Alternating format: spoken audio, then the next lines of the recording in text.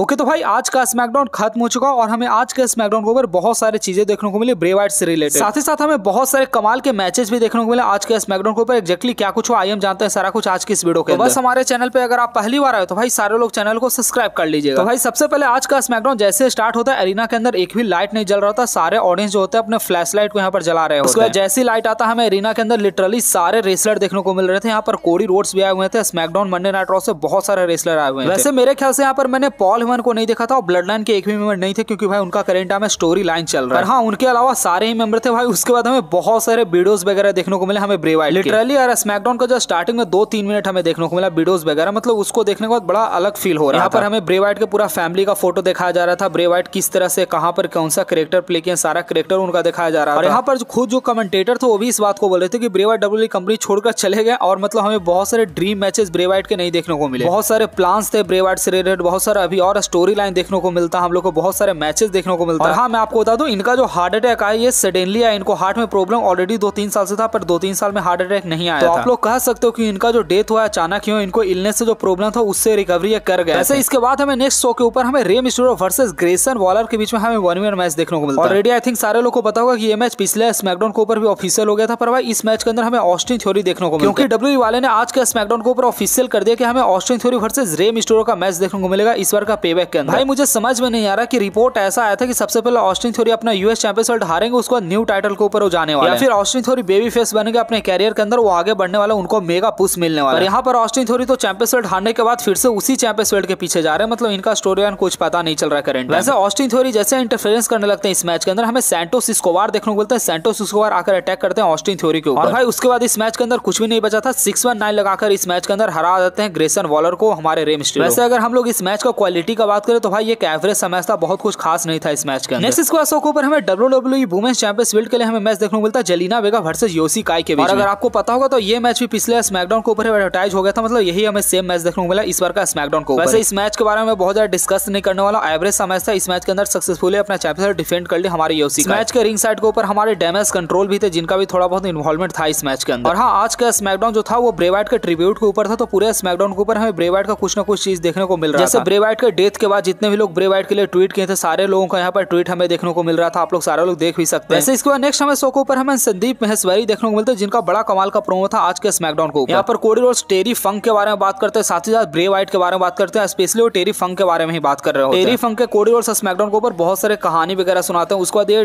Bray Wyatt और टेरी फंक दोनों को कॉबॉय बताते हैं। और लास्ट में कोडी रोड्स का प्रोमो इस तरीके से इंड होता है कि ये दोनों ऐसे लेजेंड है जिसको हम लोग कभी भूल नहीं सकते वैसे कोडी रोड्स को स्पेशली मोटिवेट करने के लिए मतलब मोटिवेशनल थोड़ा सा स्पीच देने के लिए आज के स्मैकडाउन ऊपर बुलाया गया इसके पीछे का सबसे सिंपल रीजन ये है डब्ल्यू कंपनी के न्यू हीरो है करेंट टाइम में सबसे बड़े बेबी फेस है इसलिए इनको बुलाया गया और उसके बाद हमें आज के स्मैकडाउन के ऊपर टेरी फंक का वीडियो भी देखने को मिलता है। ब्रे वाइट के साथ साथ बहुत सारे इनका वीडियो चलता है स्मैकडाउन को वैसे इसको नेक्स्ट हमें सोको ऊपर हमें Street Profits versus Brawling Brutes के बीच में हमें टैग टीम मैच देखने को मिलता है। अगर हम लोग इस मैच का बात करें तो भाई बहुत कमाल का मैच था। बुच का बहुत नेक्स्ट लेवल का परफॉर्मेंस देखने को मिला इस मैच के अंदर हमें। पर एट लास्ट इस मैच के अंदर स्ट्रीट प्रॉफिट का ही विन हो जाता है ये मैच एक्चुअली बड़ा कमाल का था। और हर बार की तरह इस बार रिंग साइड के ऊपर बॉबी लेसली आए हुए थे तो बॉबी लेसली बस यहीं पर हल्का सा सेलिब्रेशन वगैरह भी करते इसके नेक्स्ट हमें ब्रेवाइट का फायर फ्लाई फन हाउस वाला हमें शो वगैरह देखने को मिलता है। भाई मतलब पूरा ब्रेवाइट के ऊपर ही मतलब आज का स्मैकडाउन पूरा मुझे नहीं पता पर डब्ल्यू वाले हर बार स्मैकडाउन के ऊपर बारकोड भी दिखा रही थी। आप लोग देख सकते हैं फ़ोटो के अंदर मैं नेक्स्ट वीडियो के अंदर इसको स्कैन करूँगा मैं आपको बताऊँगा इस एक्चुअली में इस बारकोड के अंदर था वैसे इसके बाद शो के मेन इवेंट के अंदर हमारे एले नाइट देखने को मिलते हैं जिनका सबसे पहले एक बड़ा अच्छा प्रोमो होता है मिस के अगेंस्ट और उसके बाद ये ब्रेवाइट के बारे में बात करते हैं साथ ही ब्रेवाइट का जो इपिक जो लाइन था रन उसको रन को ही बोलते हैं। इसके बाद हमें शो के ऊपर हमें Finn Balor versus LA Knight के बीच में हमें वन वी मैच देखने को मिलता है। अगर हम लोग इस मैच का क्वालिटी का बात करें तो भाई ये मैच बड़ा कमाल का था बहुत मतलब कमाल का रेसलिंग देखने को मिला इस मैच का भाई अगेन इस मैच के रिज़ल्ट से मैं बहुत ज़्यादा अनहैप्पी हूँ मतलब मैं क्या ही बोलूँ यार मतलब इस मैच के अंदर हमारे फिर से फिन वालर हार मुझे समझ में नहीं आता अगर डब्ल्यू वालों को अगर विक्ट्री दिलाना था एलेनाइट को आज का स्मैकडाउन हुए तो भाई किसी नॉर्मल बंदे के साथ इनका मैच करवा सकते थे। भाई इनका मैच फिन वेलर के साथ होता है। फिन वेलर मेरे ख्याल से भाई लगातार मैचेज हारते ही आ रहे continuous money in the bank के अंदर हारे समर स्लैम के अंदर हारा आज के दिन वैसे भाई जैसे स्मैकडाउन इंड होता है दो मिनट अभी भी स्मैकडाउन इंड होने में बचा हुआ था। और फिर उसके बाद हमें ब्रेवाइट का लांटेन देखने को मिलता है जो भी इसको कहते हैं आप लोग लैंप देखने को मिलता है रिंग के अंदर। स्मैकडाउन खत्म होते होते मतलब ऐसा लग रहा था कि सामने रिंग के अंदर एक्चुअली अवेलेबल है ब्रेवाइट देखो आज के स्मैकडाउन के ऊपर जिमी उसो ऐसे एडवर्टाइज थे पर जिमी उसो नहीं देखने को मिला जो कि मेरे ख्याल से काफ़ी अच्छा चीज़ क्योंकि यहाँ पर जिमी उसो अगर स्मैकडाउन के ऊपर देखने को मिलते मतलब ऑडियंस यहाँ पर थोड़ा सा डिस्ट्रैक्ट हो जाता। तो भाई आज का स्मैकडाउन का शो बहुत ज़्यादा खास तो नहीं था पर हाँ ब्रेवाइट के ट्रिब्यूट के ऊपर था जो की मेरे ख्याल से काफ़ी अच्छा ब्रेवाइट एक लेजेंड थे हमारे दिल में हमेशा रहेंगे और चाहे कोई और यूट्यूबर भूल जाए पर भाई मैं हमेशा ट्रिब्यूट वीडियो लेके आऊँगा ब्रेवाइट वाइट के बारे में। वैसे आप लोग सारे लोग चैनल को सब्सक्राइब कर लिएगा। कैसा लगा स्मैकडाउन को? सारे लोग कमेंट सेक्शन में बता भी सकते हैं। और आपको बहुत सारे ब्रे वाइट के बारे में अपडेट भी बताना जो कि शाम को वीडियो आएगा। आप लोग सारे लोग मिस मत कीजिएगा।